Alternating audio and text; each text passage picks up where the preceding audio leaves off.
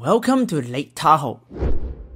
You are looking at the famous Emerald Bay in 3D spatial video.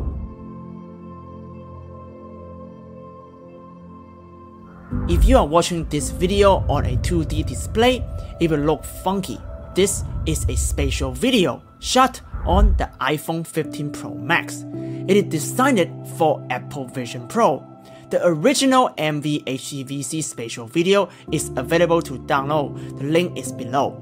Suppose you don't have the Vision Pro, in that case, you can watch this YouTube 3D spatial video directly on your Meta Quest 3 Pico VR headset or better, on the Viture One XR glasses. This sunglasses-like portable XR device supports natively Apple Spatial Video, 3D video on YouTube, and even 3D 360 top and bottom stereoscopic video, which we will safely assume Vision Pro will also support. There is lots of talk about Apple spatial videos, but no one can show you what spatial video looks like, what kind of content spatial video is good for, and how to shoot them. I have been shooting spatial video with the latest Apple firmware for the last month. Before that, I had over 10 plus years of experience in 3D and VR filmmaking. In this spatial video, I will walk you through different use cases for professional content creators who will likely shoot more than just close-up foods and their family vacations.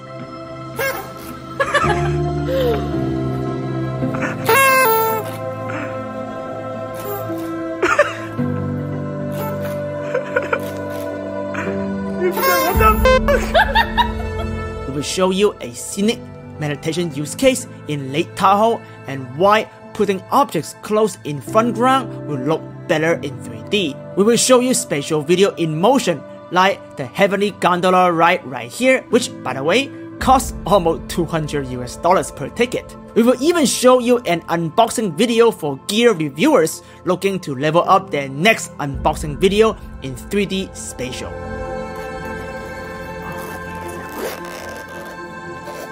We will explain the limitation of iPhone-based spatial video and why close-up and low angles are always gonna be better.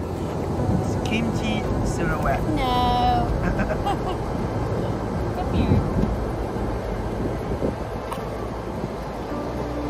hey, sorry. and how you can use the larger than life 3D perspective to your advantage. Let's go!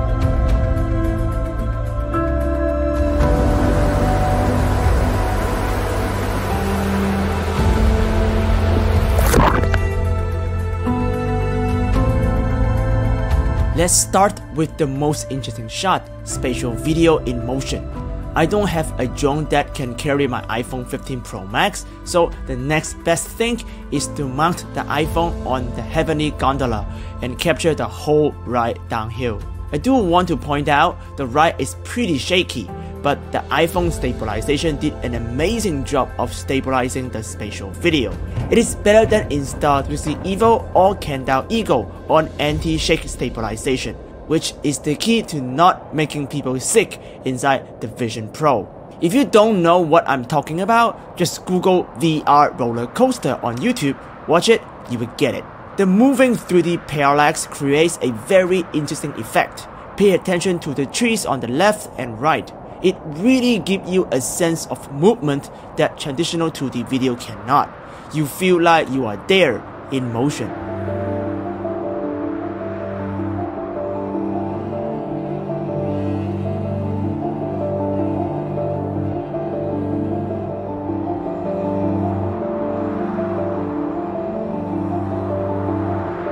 I used Topaz Video AI to enhance the video quality as my iPhone was inside the cart shot through a very dirty window just to show you AI works the same in spatial video. So if you are complaining the 1080p 30 frame per second resolution like other influencers do, just use AI to upres and up frame rate your spatial video following this tutorial. And Now, it is a good time to ask you to subscribe and give this spatial video a like. No one on the internet showed you what spatial video looks like except me. with the Vision Pro dropping at the end of January 2024, I will continue to teach you how to film, edit, and publish spatial video. Subscribe to us so you can be one of the first creators to film in spatial for Vision Pro.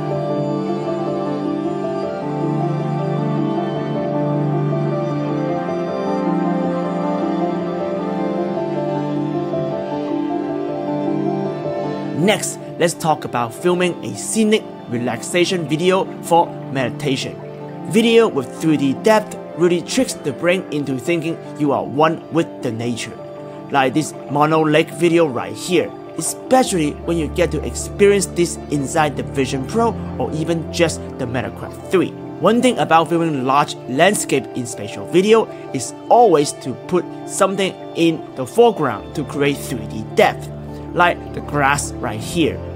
Or just point your camera to this interesting rock covered by salt. Mono Lake is a saline soda lake formed at least 760,000 years ago. The lack of an outlet caused high levels of salts to accumulate in the lake, which makes its water alkaline. As you see, the salts accumulate here in 3D. It is a nature wonder you are watching now in spatial. Pretty cool, huh? Let's make one thing clear. Spatial video is a fancy way to call 3D video. Apple Spatial Video is not a 6 degree of freedom volumetric video, even though their commercials are kinda misleading. For 3D to work better, you need your iPhone close to the subject.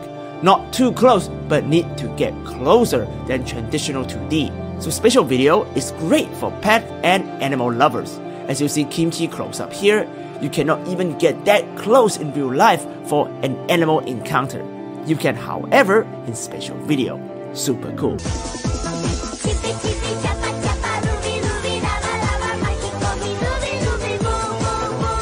Just like 3D video capture, you will need mostly stationary capture or put your phone on a gimbal. All the samples you see in this video are me hand holding the iPhone. Not recommended. Like this snowboarding footage, it will make you sick immediately in the headset. So make sure bring a tripod with you next time filming in spatial video or put your phone down on the ground. Low angle shot looks super good in spatial video. Because of the narrow lens separation, iPhone spatial video tends to make the subject look larger than life. It gives a unique perspective compared to filming the subject standing up. I'm not saying you should not film your subject in eye level, it is just boring and make your videos look like an iPhone video, ironically. It's a video. No, just take a photo. Because of the 3D nature, spatial video is also great for unboxing video. Let's take a look at my recent unboxing video of the Viture XR glasses right here. It's Christmas time, and me and Kimchi gonna unbox the brand new virtual AR, XR, MR headset. This thing can play spatial video. So come on in. So it's really cool. That's XR glasses right here. Just pull it. Woo! Wow! Look at that. It's a very funky, cool, hipster design. Put this apart. And how to open it? Oh, look at that. The future is here. Come closer. Whoa! Let me show you again, the way how I open it. Look at that. That is really cool. Okay, oh, look at that. It's actually, it's very tiny glasses. Oh, ASMR. ASMR in spatial, we can do it again. Not the airplane. But ASMR spatial video. With kimchi. Doing it in the background. Look at that. That is the glasses.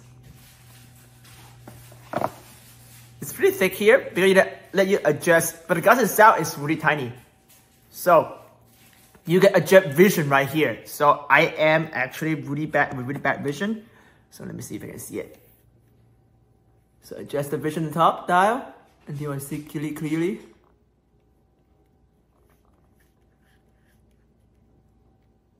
Right? It's kind of cool. Yeah, that's dope. Look at that. Is that sunglasses So if you wear it, nobody know what you're wearing. But in here, is it all the 3D glasses? It's actually not, not level. It's like in a 2D angle. So it's really smart design. And in 3D. Hey.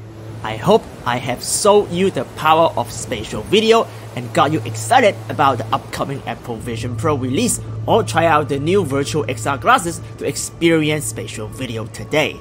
Spatial video is not limited to just 16 by 9 3D videos.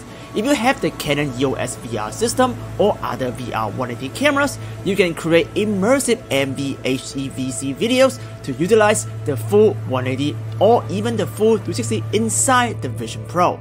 If you want to learn how I edit this 3D spatial video, how to encode it for multiple displays, and how to insert your own 3D graphics inside a spatial video shot on the iPhone 15 Pro or 15 Pro Max, subscribe now and hit the notification bell so you don't miss all the upcoming spatial video tutorials.